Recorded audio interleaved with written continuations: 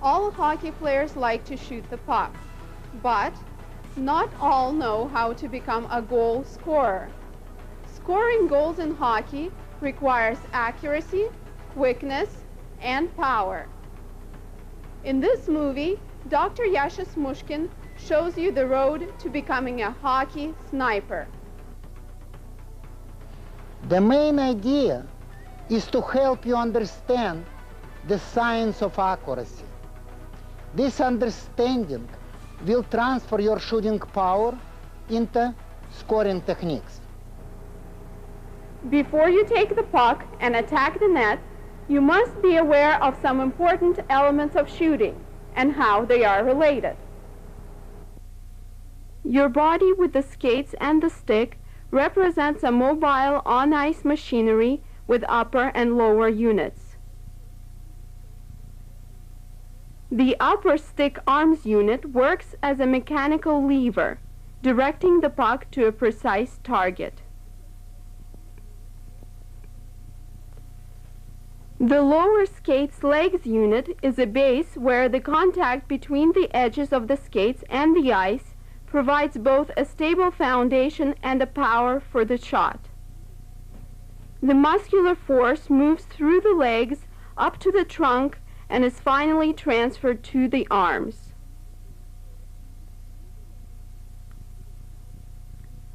There are two basic body positions in shooting. In the first position, the player is sideways to the puck and is facing the net.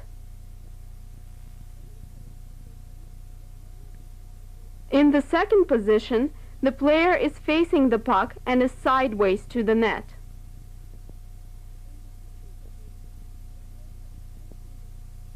Shooting has two major forms of puck manipulation. Throwing the puck, also called a wrist shot, and hitting the puck, also called a slap shot. The throwing motion has two components. An acceleration of the stick with the puck and stopping of the stick with the release of the puck from the stick blade. The hitting motion has four components. A preparatory swing, an acceleration of the stick towards the puck, an impact of the puck when the stick and the puck are moving together, and finally, stopping of the stick with the release of the puck from the stick blade.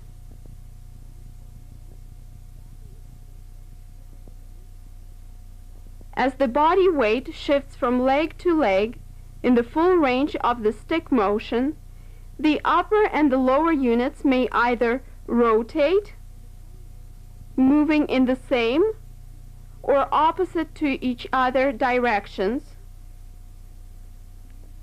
or move together laterally in the same direction as the puck or in the opposite direction. During the contact phase between the stick and the puck, there are two possible kinds of stick control. The arms and the wrists can act as one unit, moving the stick around the body. Alternatively, the arms and the wrists can act as two separate units, with the arms moving the stick around the body and the wrists turning the stick around its axis.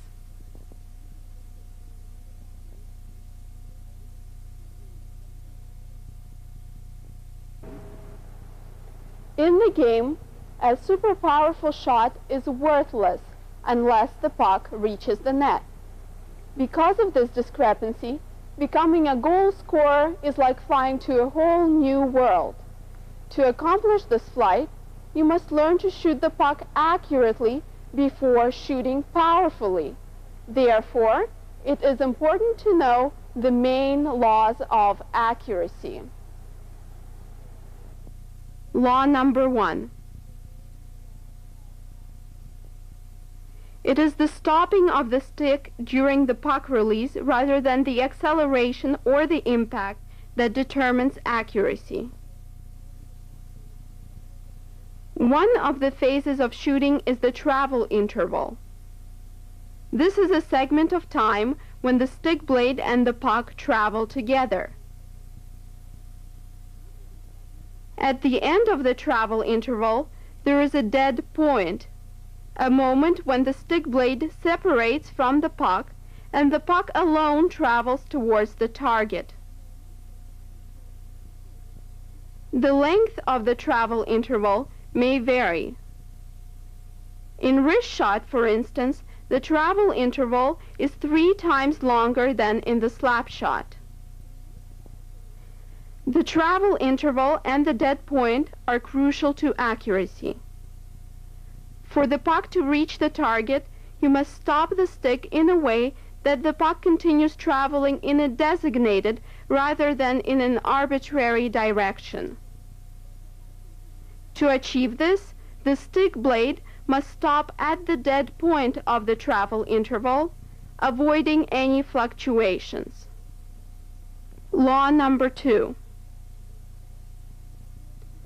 The accuracy in shooting depends on the precision of the player's puck release skills. Even minor deviations in the puck release lead to an unsuccessful outcome of the shot. Thus, the puck will miss an empty net even when shot from just 6 meters away if the angle of the stick blade deviates horizontally or vertically from the center of the net by more than 4 degrees. Achieving precision in the puck release is considerably complicated by the fact that the final direction of the puck during the release does not coincide with its initial direction during the travel interval. As a result, precise puck release requires an intricate control of the stick-puck contact and a super feeling of the puck. Law number three. The puck release along the vertical line of the net is produced by turning the stick blade around its horizontal axis. All vertical deviations of the puck from the net result from mistakes in the wrist control. Law number four. The puck release along the horizontal line of the net is produced by turning the stick blade around its vertical axis. All horizontal deviations of the puck from the net result from mistakes in the location of the stick and the body relative to the net.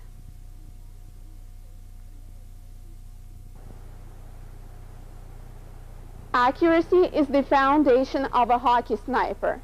Therefore, you must learn to apply the laws of accuracy. Rule number one. You have to maintain a very tight grip on your stick. A weak grip makes it difficult to stop the stick at the dead point of the travel interval.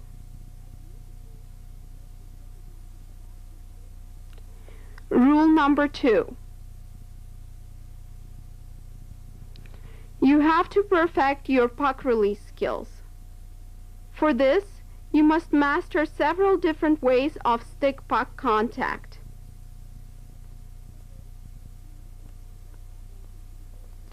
Contacting the side of the puck with the stick blade. This flat contact will send the puck gliding down the ice.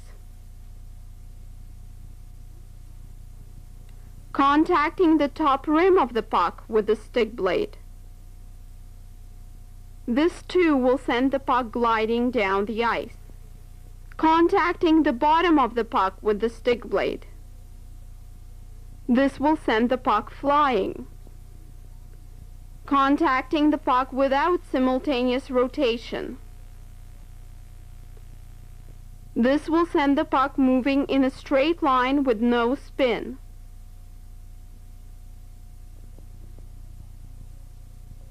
Contacting the puck with simultaneous rotation. This will send the puck spinning and its trajectory will deviate from a straight line. As a result of practicing these skills, you will gradually develop the required intricate feeling of the puck. Rule number three.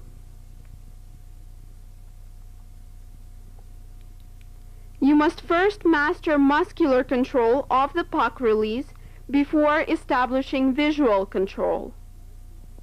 For that, you should practice shooting the puck with slow, soft, and smooth stick swing using the variety of release skills that were shown.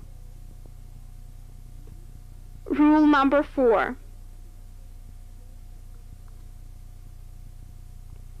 To establish visual control of the puck release, you must have a visible target.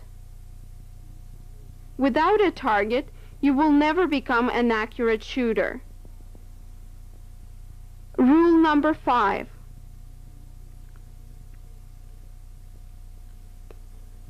Accurate muscular and visual control of the puck release have to be established first in the throwing skills, or the wrist shot, before you start practicing the hitting skills, or the slap shot. Remember, it is not your strength or your power, but your ability to focus on the task that is the key to accuracy.